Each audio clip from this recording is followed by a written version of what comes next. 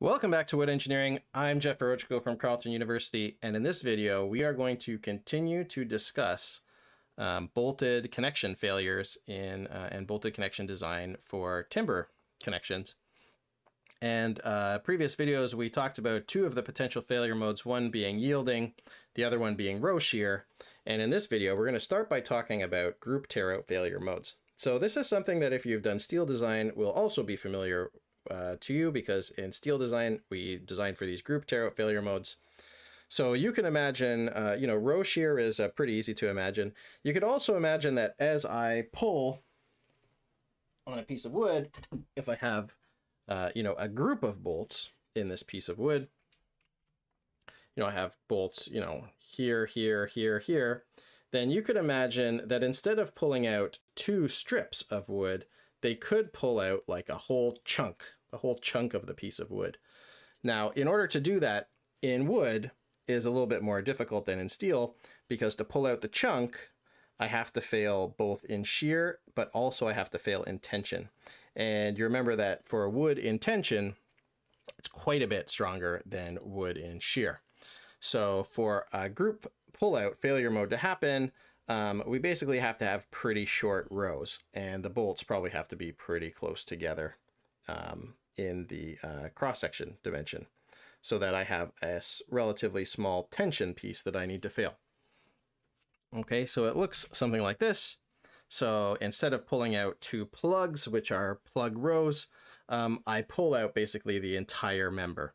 So you uh, not the entire member, I pull out a big chunk of wood material from the center. And you have to imagine for these failure modes to exist, all the bolts have to move together. So I have to move all four bolts at the same time. They all have to move and they have to pull out a uh, chunk of uh, wood with them. Okay, so in this case, instead of having two shear planes per row for row shear, I don't have rows anymore. I just have one big chunk. And that chunk has uh, only one shear plane on each side. Okay, so it still has two shear planes. So I have a shear plane over here and I have a shear plane over here. But in addition to that, I have basically a tension failure. Let me draw that in a bit of a better place. So I have to fail two basically shear planes plus one tension plane. And that one tension plane, you know, per unit length is going to be significantly stronger than the shear planes because the shear planes are basically, we're failing the lignin. We talked about this with the straws. So if I'm shearing like this, it's relatively easy, but to actually fail a part of that intention. So even if I just take a few of the straws in the middle and try to fail that intention, I ha basically have to rupture the straws. So it's quite a bit stronger in that in uh, that direction.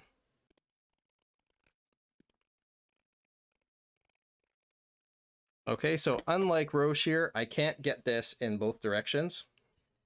So if I have my group tear out and I'm tearing, I'm pulling on this member so the bolts want to pull out the bottom, uh, that's a way that I can get group tear out. But if I'm pushing on this and the bolts are pulling, pushing into the middle, then I can't have a group tear out. So, you know, um, critical to the failure of tear out is that I need to be able to tear a piece out. I didn't need that in row shear. In row shear, I could fail those shear planes uh, and have that in combination with a small embedment failure at the end of one of the bolts. Okay, but I can't get that in group tear out. I can't tear out a chunk into the piece of wood. So I only have to worry about this failure mode if I have um, loads that are parallel to grain and that they are uh, basically pulling towards a loaded end. Okay, so how do we determine what is the strength for uh, group tear out? Let's look at the mechanics of this situation.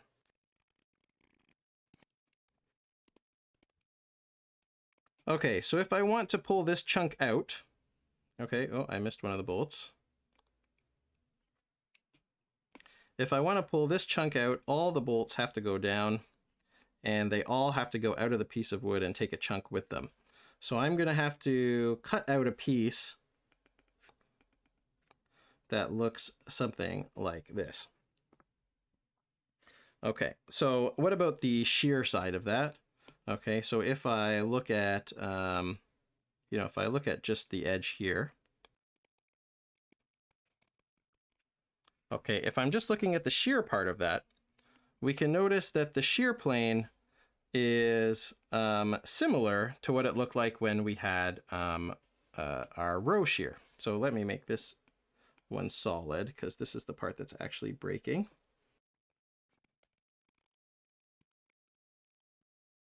Okay, so if I'm only interested in the right line there, the right orange line, and I need to find the shear resistance of that line, uh, you know, we already looked at how to calculate shear resistance of shear planes when we looked at row shear resistance.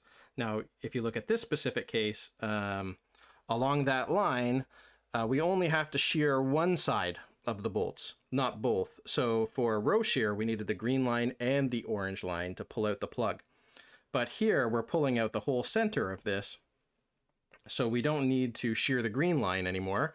So basically the shear resistance of that orange vertical line is just half of what the row shear resistance would be for that row.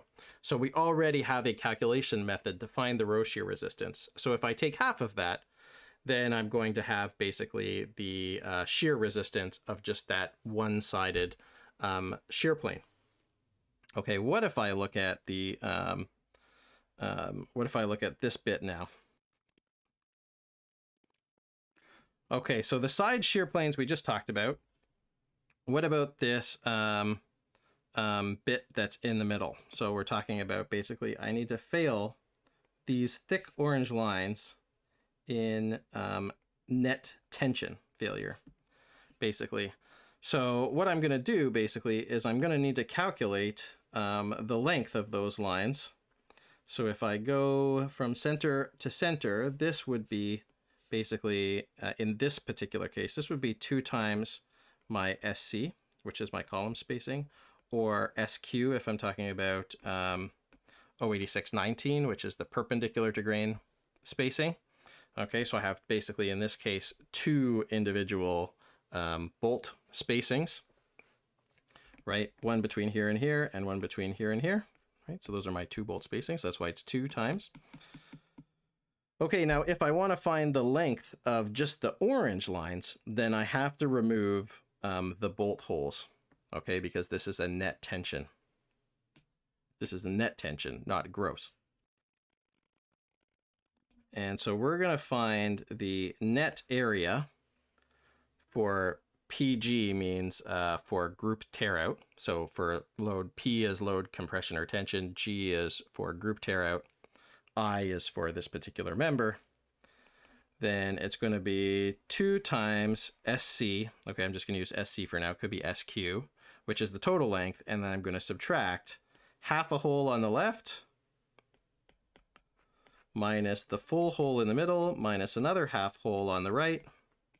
And I'm going to multiply all of that, of course, by the thickness T to get the area of those planes. And so I get basically 2 SC minus 2 times hole diameter uh, times t. And we have to remember that the hole diameter is bigger than the bolt diameter, and we usually assume it's bigger by 2 millimeters.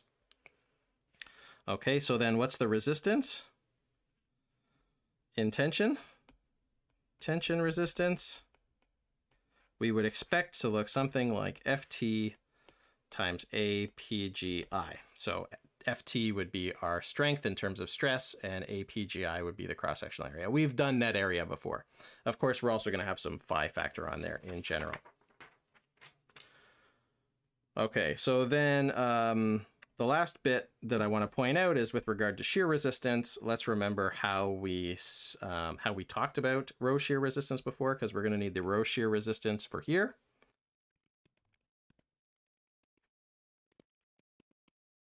Okay, so when we had row shear resistance, we called those PR. That's for, you know, tension compression. R is for row shear. Um, and we called that IJ. So this one, we could call that PRI NR, okay, where NR,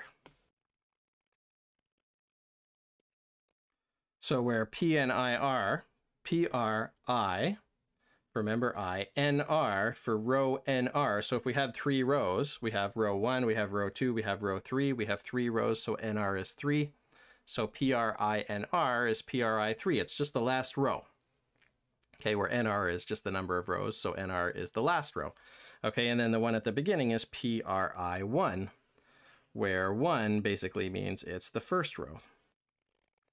Why do we need these? Because basically when we do row shear, uh, this one is the first row, and this one is the last row. So we're going to need the row shear for the first row and the row shear for the last row. And remember, we're going to need only half of each of those.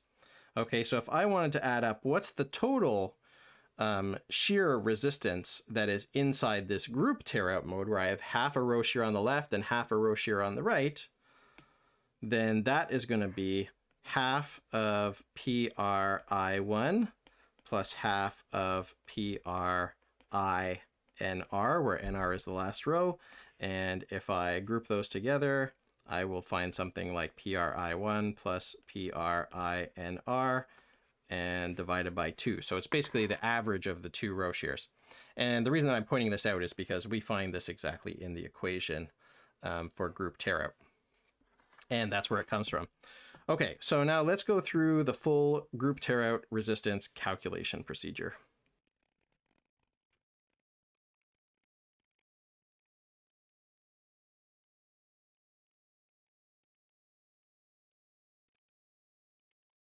Okay, so just like row shear, I'm only calculating at one time the resistance of one side of the connection.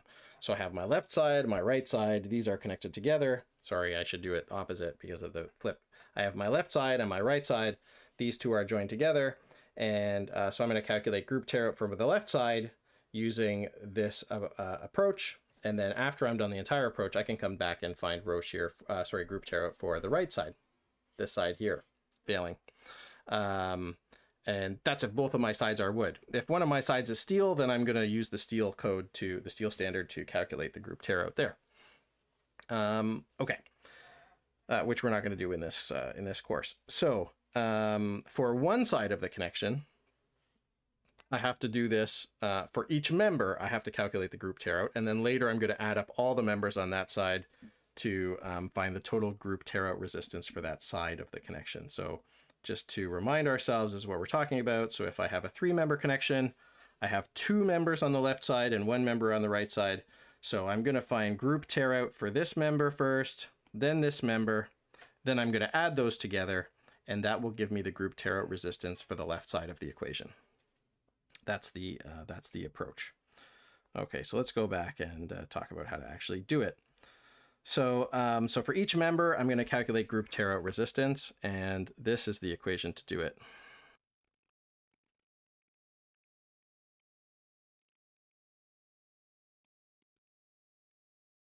Okay, so that's the overall equation. Okay, this first part here is obviously the uh, shear planes strength, and that PR I1 plus PRINR divided by 2 is just what we talked about here. So it's half the row shear of the first row, half the row shear of the nth row, like the final row. And so that's how we get that. And then this bit here is our net tension, right? Where APGI is our net area between the first and the last rows taking into account, of course, the bolt holes. So it's basically the area across those thick orange lines right there, as we already talked about. Okay, so it totally makes sense. Now here we have KD, KS, TKT on the right for the net tension, but how come we don't have it on the left? That's because PRI1 and PRINR, which we learned about when we calculated row shear, already includes KD, KS, VKT. So it's already built into the PR um, values that we use there. So we don't include it again twice. Okay, we have to be careful that uh, PRI1 and PRINR have to be in newtons if we want this equation to work out in terms of units.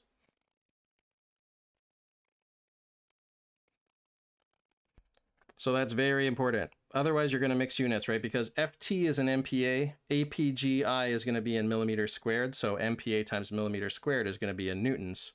So then to add this, which is going to be in newtons, to this, uh, the one on the left has to be in newtons as well. So that's a that's an that's a tripping point that a lot of people will run into when using this equation if they're not careful.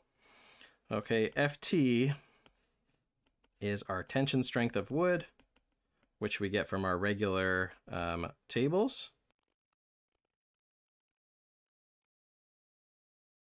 Okay, and APGI, as we said, is just the critical perpendicular net area between the first and the last row. So it's basically the area between the bolt holes, um, between those first and last rows. Okay, so then that gives me PR, that's row shear strength for I, row shear resistance, PRR, row shear resistance for member I, PRRI. And then uh, if I have multiple members on that side of the connection, like if I have a three member connection, then I have to um, add them all up. If I don't, then the addition is trivially easy because I just add one element.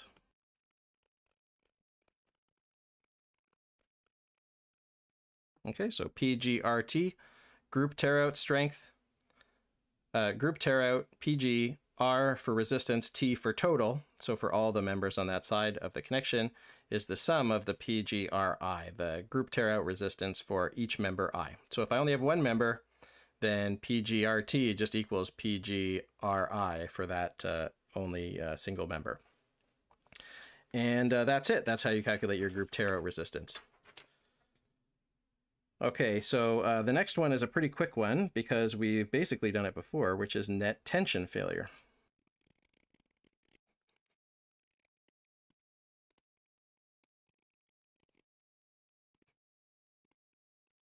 Okay, so net tension, which we've looked at before, we've done net tension strength before, is just basically cutting off the uh, entire cross section of the piece at uh, the minimum net section failure uh, location. So that will be the furthest bolt basically. Can I have net tension failure here in the second line? No, because then only half of the bolts would be coming off the bottom of the connection. Remember, whatever failure I have in my connection, all the bolts have to separate off of the main body of the connection. So in this case, this whole part here comes off. It's not a plug anymore. It's just I basically pulled off the bottom of the connection. Um, so this is pretty tricky to do, as you can imagine, because I have a lot of tension failure, and tension is much stronger than uh, shear failure in wood, uh, as we've talked about before. But if I cut out enough of my piece of wood and maybe my uh, the bottom of my connection is long enough that it's very difficult to fail in row shear uh, or I have a lot of bolts, I have a really long uh, row shear connection to fail, then I could definitely get net tension failure. Uh, okay, so uh, we can basically skip directly to how to calculate this because, uh, we, as I said, we've done it before.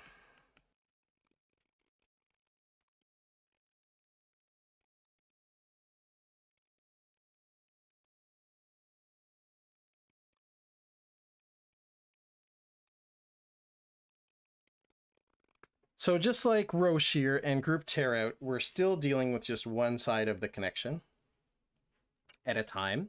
And if we have multiple members on each side of the connection, then we find the net area for each of those members, and then we're going to add them together in the second step. But in order to actually do the net tension uh, calculation, it's very easy because we've done it before. We just use the net area calculation from clauses 6.5.9 or 7.5.11. So one is for, remember, lumber timber, the other one is for glulam. Um, so that, uh, that calculation we've covered before. And basically it's just F, uh, FT or FTN for glue glulam multiplied by the net area multiplied by a, a material reduction factor. So that's very easy. So I just set my T uh, NRI for that. Um, one thing that we need to remember is that the net area um, is the gross area minus the bolt holes. So just like before, so I'm going to put a note up here about that. Okay, so I have to remember to take out the bolt holes and I have to remember that the bolt holes are bigger than the bolts by about two millimeters. And also that uh, we have a limit on our net area, which we've seen multiple times. And we talked about this very early on, that my net area has to be greater than or equal to 75% of my gross area. So I can only cut out at most 25%. Okay, so then once I find my uh, tension strength, my net tension strength in the connection for each member on that side of the connection, then I find the total resistance. And that gives us TNRT, which is my net tension strength total, which is the net tension strength of all the members on that side of the connection together. So if I have a three member connection, uh, the one that we looked at before, on my left side, I had two members. On that side of the connection, I'm going to add up the net tension strength for both. If the net tension strength is the same, I'm just going to multiply it by two and calculate it once. Okay, so I'm going to put one last cut in here. This video, we uh, looked at uh, gross um, tear out, uh, and then we looked at net tension, um, and uh, sorry, group tear out, not gross tear out. And then in the next video, we are going to finish up bolted connections by looking at the splitting failure mode, which is the one that's perpendicular to grain and also how we sum it all up to get a summary of all the bolted connection requirements and how we deal with um, if I have a combination of splitting and um, parallel to grain failure modes like net tension and group pullout.